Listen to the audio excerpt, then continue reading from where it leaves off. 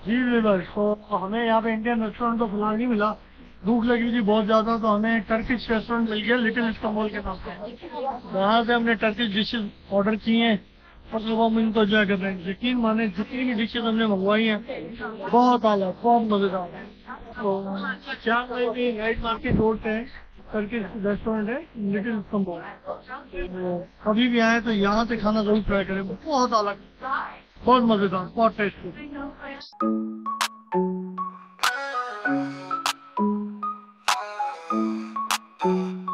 Sun shining bright, bags packed tight. Desi travelers ready for flight. TDC Kanabador Shark Travel Band. Exploring new lands, hand in hand. अस्सलाम वालेकुम अस्सलाम वालेकुम viewers हाँ जी हम लोग check in कर चुके हैं अपने रूम में तो ये है हमारे रूम का व्यू। पीछे से इतनी बड़ी खिड़की और यहाँ से पूल का व्यू भी नज़र आता है। ओपन नहीं होती? नहीं ये ओपन नहीं होती ये लिखा हुआ है उन्होंने डोंट ओपन विंडो और ये जो है ना पीछे सिटी का व्यू अभी तो रात हो गई है तो यहाँ से बड़ा कम नज़र आ रहा है। मैं सुबह को मॉर्निंग में आपको यहाँ का व्यू दिखाऊँगा पीछे का। तब तक मैं आपको दिखाता हूँ अपना रूम आप देखें। और हम लोग अब निकल रहे हैं ज़रा बाहर की तरफ़ क्योंकि मैं भूख ने बहुत तंग किया हुआ है। थके हुए इतने थे कि हमारी हिम्मत नहीं थी कहीं पे भी निकलने की। लेकिन भूख और सर दर्द की वजह से कहीं से चाय पीनी है और खाना खाना है उसकी वजह से। क्योंकि पिछले 28 घंटों से यानी कि कल तीन बजे से लेके हम आज शाम को छः बजे तक जो है ना कंटिन्यू सफ़र में रहे और बहुत थक गए बहुत टायर्ड हो गए। मुझे तो नींद आ रही है और चक्कर आने हैं तो जाना भी नहीं चाहेंगे लेकिन मजबूरी है क्योंकि हमारे होटल में जो है ना वो नहीं है यहाँ हाँ, पे। हलाल फ़ूड वो हमें जाना पड़ेगा वॉकिंग स्ट्रीट की तरफ़। तो हम जाते हैं वॉकिंग स्ट्रीट की तरफ़ देखते हैं सर्च करते हैं इंडियन रेस्टोरेंट कहाँ पर है। तो मैं तब तक आपको दिखाता हूँ अपना रूम हाँ जी ये है हमारे रूम की सोफा हाँ जी सोफा रूम में बैठने के लिए। और ये बड़ी सी विंडो जहाँ से पूरा व्यू नज़र आता है बाहर का। बहुत ही और ये मुझे ऐसा फील हो रहा है कि वो अ, मैं मरी पहुँच गई हूँ। अच्छा। हाँ जी और ये सिटिंग टेबल अपना चेयर और टेबल यहाँ पर बैठ के आप चाय वगैरह कुछ भी इंजॉय कर सकते हैं। काम कर सकते हैं। और ये smart TV dressing table mini fridge और ये बेड और ये खूबसूरत सा व्यू हाँ जी।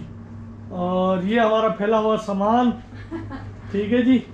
और अब हम जाते हैं बाहर की तरफ़। मैं आपको वॉशरूम भी दिखा देता हूँ। जो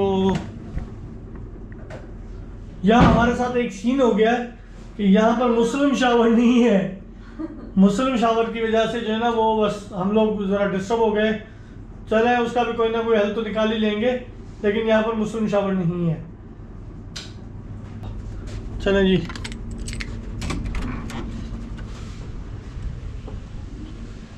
चाबी निकालने के बाद ऑटो लाइट्स ऑफ़ हो जाएँगी। हाँ जी ये है हमारी गैलरी और ये है नीचे होटल का व्यू। अगर यहाँ से मेरा मोबाइल गिर जाए कुछ भी नहीं बचेगा। कुछ भी नहीं बचेगा। अच्छा इसमें तीन कैप्सूल लिफ्ट्स हैं जो चल रही हैं और ये पैसेज है गैलरी पैसेज रूम का। और ये है हमारा रूम। बहुत ही खूबसूरत पैसेज बना हुआ है। बहुत ही आला होटल है। जी व्यूवर्स तो हम लोग लिफ्ट से जा रहे हैं नीचे की तरफ़, और बहुत फास्ट लिफ्ट है ये। विद इन सेकेंड्स आपको एलेवेंथ फ्लोर से नीचे ले आएगी, और जब हम लोग जा रहे थे ऊपर की तरफ़ भी तो भी within seconds eleventh floor पर ले गई ये हाँ जी। ये आ गया हमारा ground floor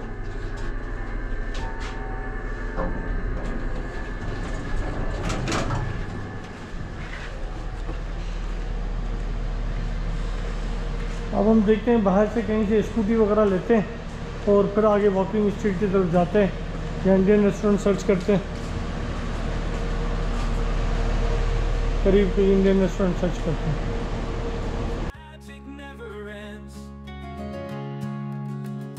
Trains and tuk-tuks, endless rides. Ancient Buddha by our sides. Floating lanterns Like our dreams, they soar so high. Mm.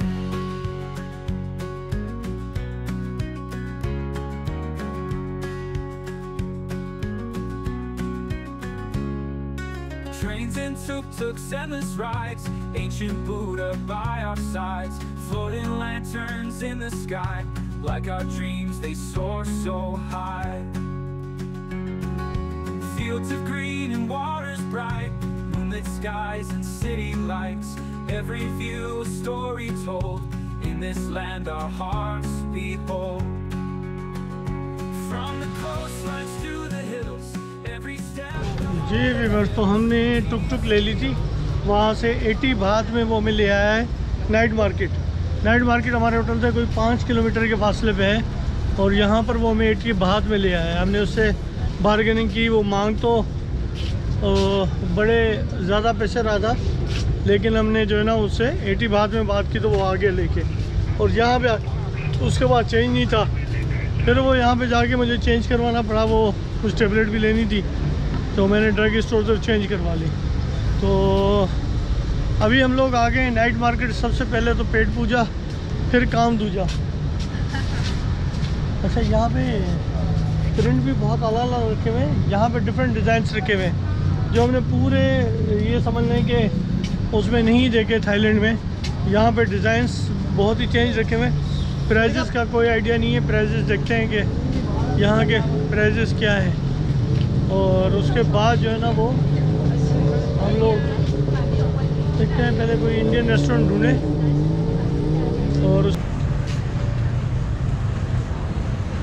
हाँ जी, ये है यहाँ की नाइट स्ट्रीट और उस नाइट स्ट्रीट में देखते हैं हम, कोई इंडियन रेस्टोरेंट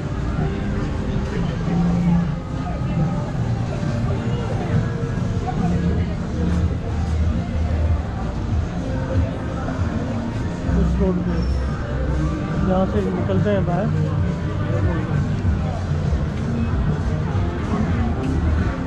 यहाँ की नाइट स्ट्रीट तो अच्छी है। यहाँ पे आइटम भी डिफरेंट रखे हुए हैं। जी बिल्कुल तो हमें यहाँ पे इंडियन रेस्टोरेंट तो फ़िलहाल नहीं मिला। भूख लगी थी बहुत ज़्यादा तो हमें टर्किश रेस्टोरेंट मिल गया लिटिल इस्तांबुल के नाम से वहाँ से हमने टर्किश डिशेज ऑर्डर की हैं। और अब हम इनको एंजॉय कर रहे हैं। यकीन माने, जितनी भी डिशेज हमने मंगवाई हैं, बहुत आला, बहुत मज़ेदार है। तो क्या भी नाइट मार्केट रोड पे है। टर्किश रेस्टोरेंट है लिटिल तो कभी भी आए तो यहाँ से खाना ज़रूर ट्राई करें। बहुत अलग बहुत मज़ेदार बहुत tasty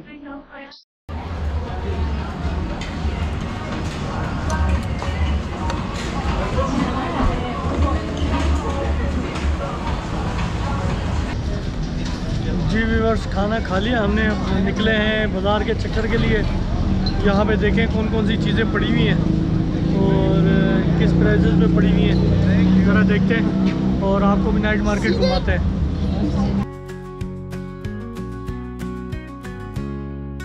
Trains and tuk-tuks, endless rides Ancient Buddha by our sides Floating lanterns in the sky Like our dreams, they soar so high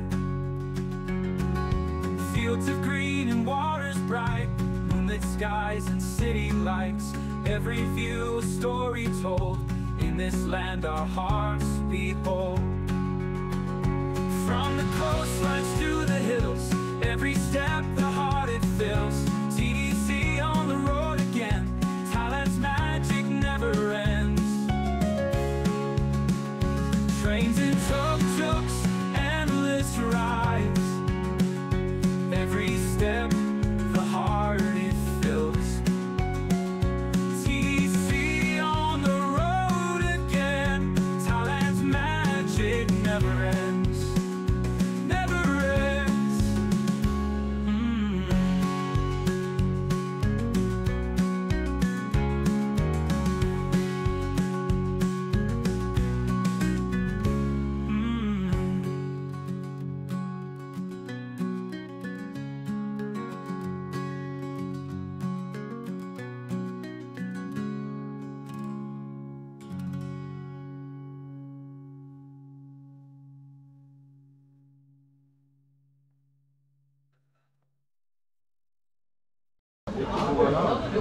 ji viewers तो ये अब तक की देखी गई मेरी जितनी भी नाइट मार्केट्स हैं, उनमें सबसे बड़ी नाइट मार्केट है ये।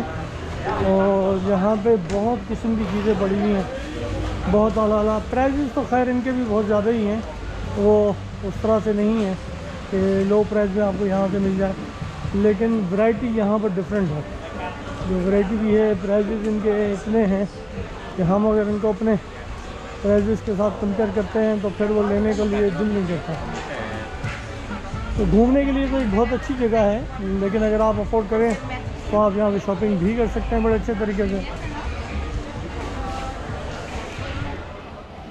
मुझे एक इस किस्म का बैग लेना है, मेरा बैग वो फट गया है तो मैंने लेना है बैग अब ये पता नहीं कितने का दे रहे हैं, पता करता हूँ। जी, ये इसकी प्राइस बता रही हैं, पंद्रह सौ भात। और पंद्रह सौ भात का मतलब है कि ये पाकिस्तानी कम से कम दस से ग्यारह हज़ार रुपये का। दस से ग्यारह हज़ार रुपये का तो बैग ये नहीं है। और फिर भी तीन, साढ़े तीन हज़ार रुपये पाकिस्तानी भी होता तो हो सकता है कि मैं ले लेता। लेकिन ये बहुत महँगा बता रही हैं. यहाँ पर भी बहुत सी चीज़ें रहती हैं।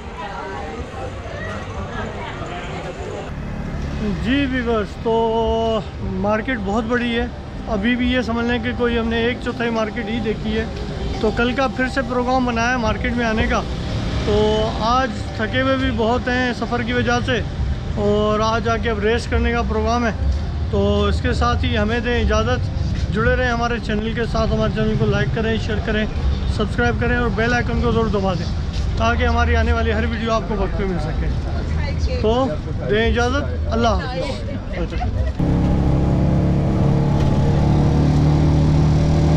हम चले टम टम में वापसी होटल की तरफ़।